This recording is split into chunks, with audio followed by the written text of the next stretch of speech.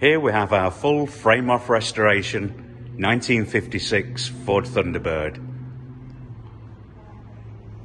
One of the classic landmarks in the American automotive history. Powered by the 312 V8. As stated, this car has been subject to a full body off restoration. The frame has been powder coated. Every component is new or fully rebuilt not a mark on the body anywhere. It has a fully operational Continental spare tire kit, which gives an enormous amount of room in the trunk. The chrome is beyond compare. The shine is even and deep throughout. Let's move into the interior. Still retaining its original wind-up windows, fully rebuilt instruments, all operational, including the clock.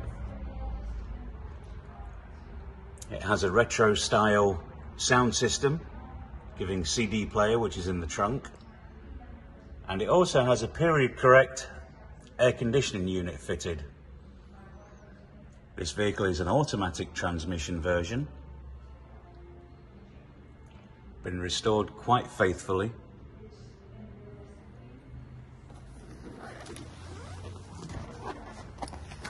Comes with the attached white convertible top behind the curtain, just as we remember them. And it also has the hard top with the porthole window.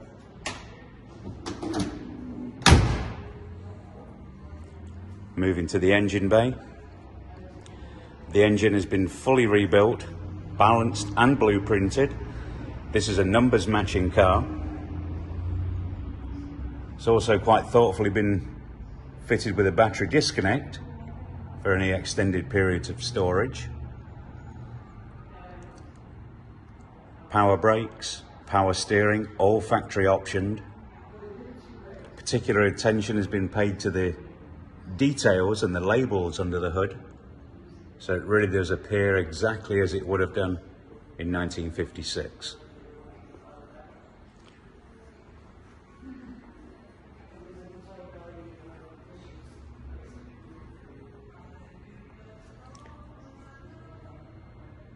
There's the air conditioning compressor.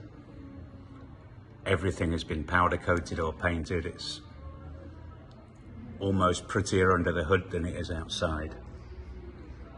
Again, attention paid to the details of the labels and the markings. Truly a beautiful example. This car wants for nothing and is ready to entertain you and your passenger on any nostalgic road trips.